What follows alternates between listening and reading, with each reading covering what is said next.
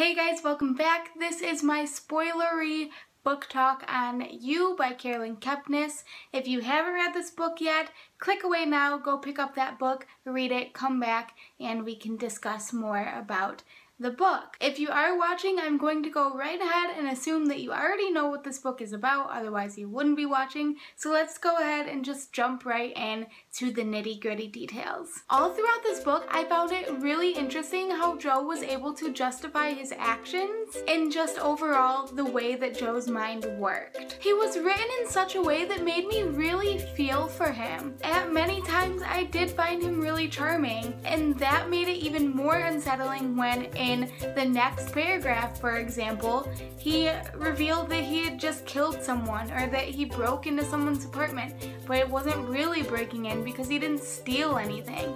I just thought that weaving that in so seamlessly was such a brave and unique choice for the author to make and it really worked for the character and because of how seamlessly everything was woven in together I found myself having to back up and reread sections multiple times because I had just been really in the zone, really flying through sections and then all of a sudden, like in the case with Benji's death, he just randomly was like, well, turns out he was allergic to peanuts. And I was like, wait, what? And I just loved things like that. It kept me on my toes and it forced me to pay attention to the little details from start to finish and for that reason I felt really engaged all throughout the book. Because I was able to sympathize with Joe, I found myself really disliking all of the other characters. He made it really easy to hate them. I mean, take Benji for example. He's obviously a douche. He just is.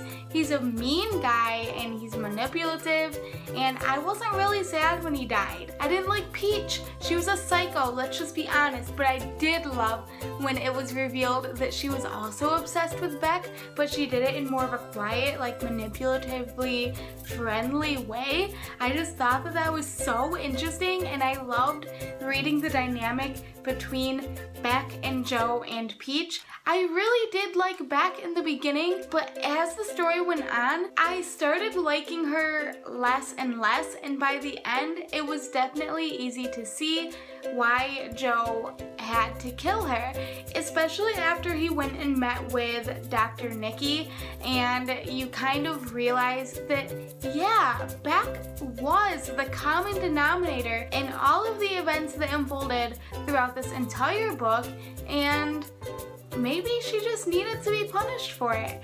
I don't know. It was a really unique take on it and you just don't read thriller books from the stalker's point of view very often and I just can't say enough how interested I was and how invested I was in the story from start to finish. While I was reading, one detail kind of stuck out to me multiple times and I thought about it more and more and kind of thought about the title of the book in a deeper meaning because on the surface it's very easy to say yes you is referring to Beck but in all of the different situations that play out over the course of the book Joe refers to each person as you and so I feel like you doesn't just apply to Beck it applies to all of the different pieces in this puzzle and how Joe related to each and every person throughout the entire course of the story. I don't know if that was intentional, but if it was,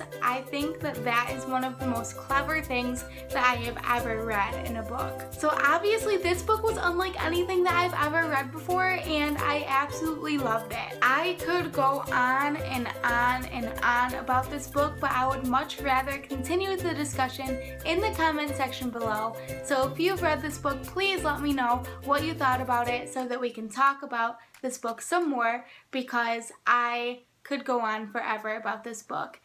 Thank you guys so much for watching and I'll see you in my next video. Bye!